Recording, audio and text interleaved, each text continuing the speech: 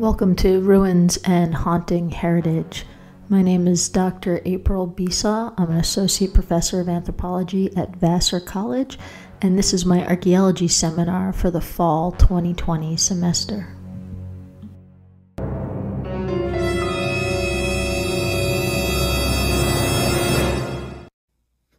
We're going to talk about the film Older Than America by Georgina Lightning and a little bit about another film called uh, Rhymes for Young Ghouls, which is a little more of a Canada version and a little more post. Uh, it's almost a almost a sequel uh, to Older Than America, but in a slightly different way, less ghostly, but uh, still um, ghoulish, right? Rhyme for Young Ghouls.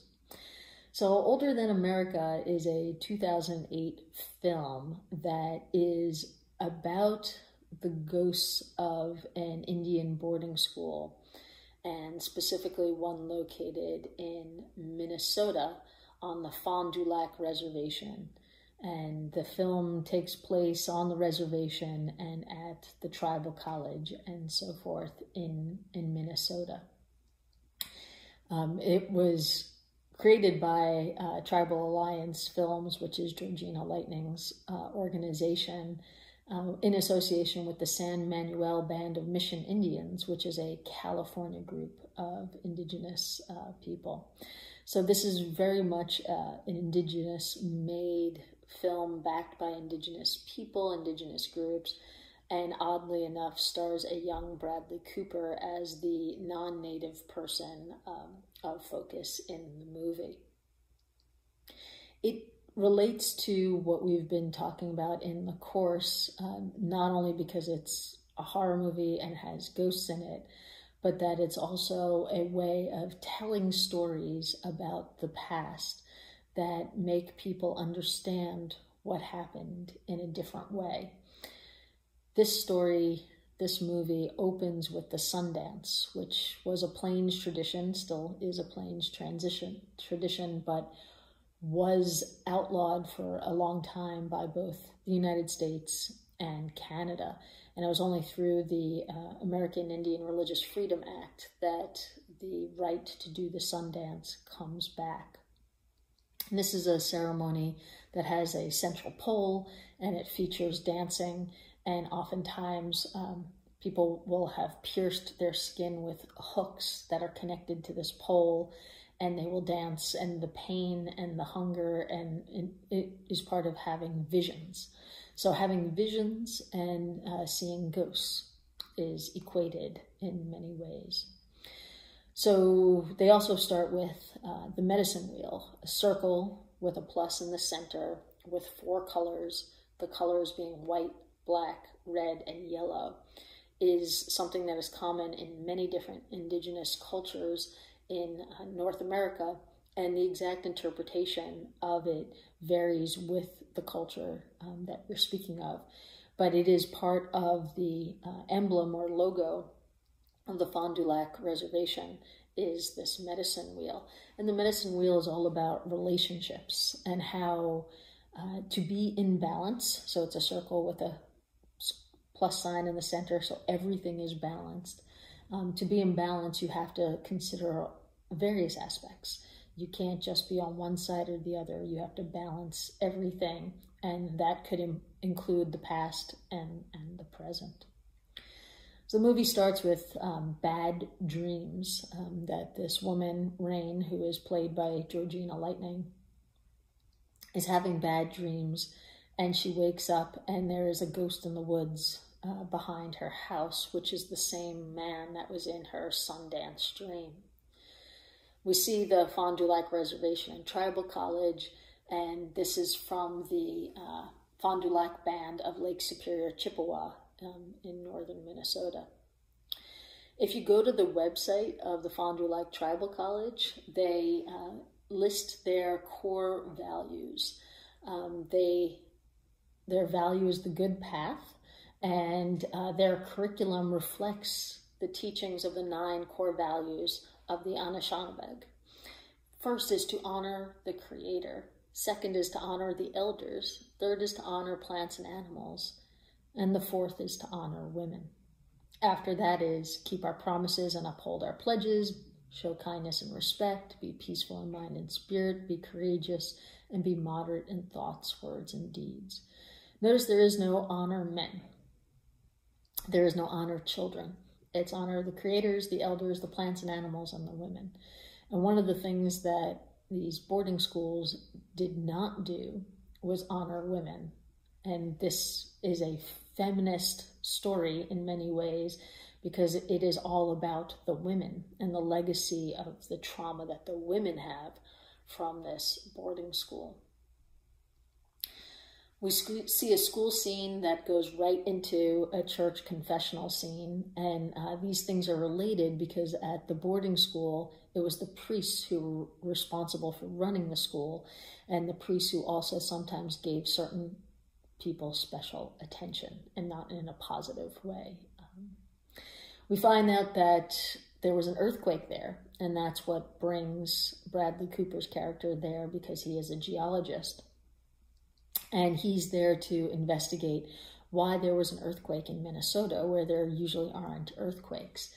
And uh, they say that the earthquake that shouldn't be there is one of the stories that the elders can tell and explain, and that there's no need for a geologist. And of course, Bradley Cooper, being the geologist, doesn't pay much attention to that and, you know, keeps trying to do what he needs to do. When Bradley Cooper arrives at the Indian Affairs office to get a permit to go to the boarding school, he looks in his rearview mirror and sees a vision of suicide in his own car.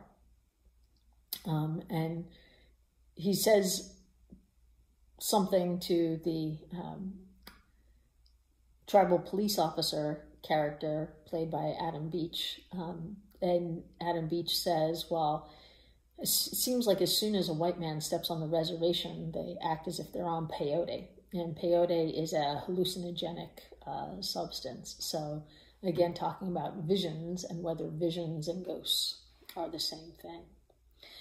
So, we see that the tribal officer, Adam Beach, uh, even needs permission from Indian Affairs to go to the residential school property. Um, so, it's definitely something that is set apart from the indigenous people um, and controlled by the government, even though the school has been closed for over 50 years in this movie. We transition to a bar scene um, where the characters say, Well, we don't have earthquakes in Minnesota. And Rain, played by Georgina Lightning, uh, says she's seeing things and is terrified. Um, and partially because she recognizes the guy from her dreams that was then in the woods, um, now on the street. So this ghost is everywhere. So the geologist drives out to the school, the boarding school, alone.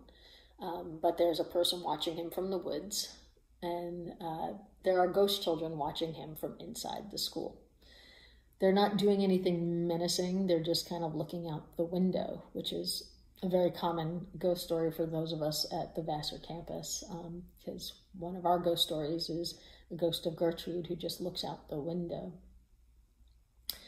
Uh, the guy from Indian Affairs shows up and confronts Bradley Cooper and says that he can't be there because it's government property. And then the uh, Indian Affairs agent puts up police line do not cross tape, blocking the entrance to the school, which is a very subtle but important piece of evidence, just like a bead in an archaeological site. Police line do not cross tape is used for crime scenes. So this is pretty much the Indian Affairs guy um, admitting that this school is um, the location of a crime. He hears voices um, of the ghost children that are inside and he goes in uh, to investigate. I won't say much more about what happens to him because this is a, a suspenseful horror movie. You should you should watch it. Uh, then we transition to uh, a mayoral candidate who is an indigenous man, um, and his speech about Indian affairs wanting to repurpose the uh, boarding school property into a resort. And he says they need to recognize that there is a cemetery there. Um, and he says, yes, yes, they're promising us jobs.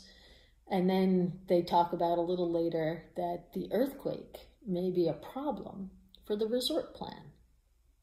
So we're starting to see some agency in this earthquake, that it's not a geological event, that it's about the school, the ghosts, and the need to respect this place of trauma, especially the cemetery in the woods.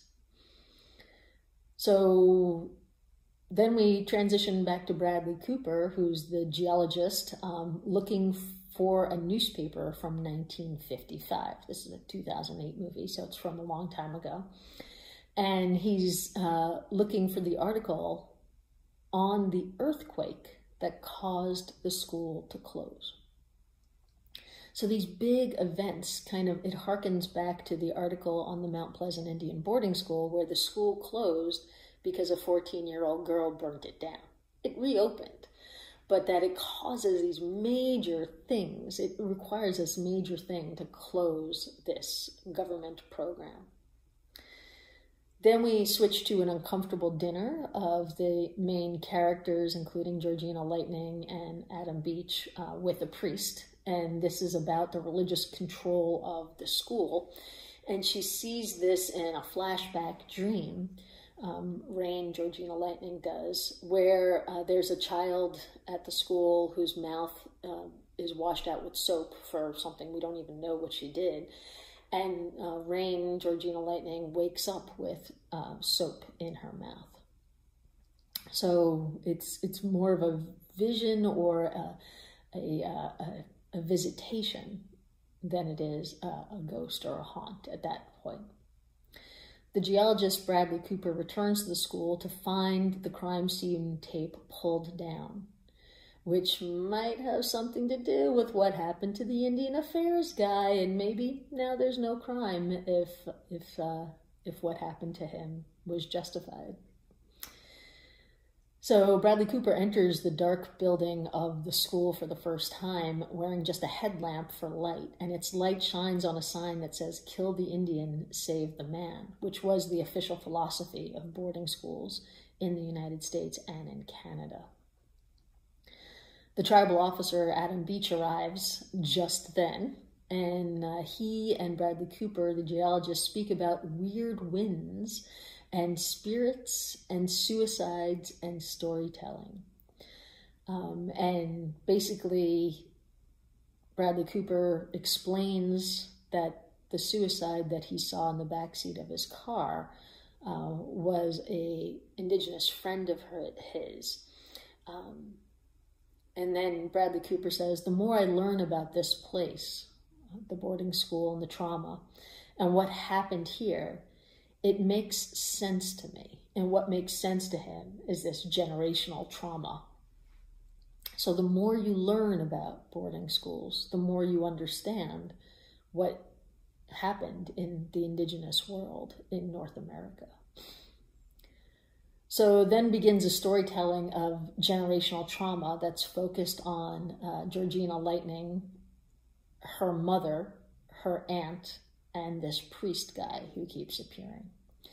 When Rain, Georgina Lightning, is holding her mother's hand, Rain has a flashback vision of medical violence ordered by the priest, which was to quiet Rain's mother and keep her to comply with the power of the church and the school over the people.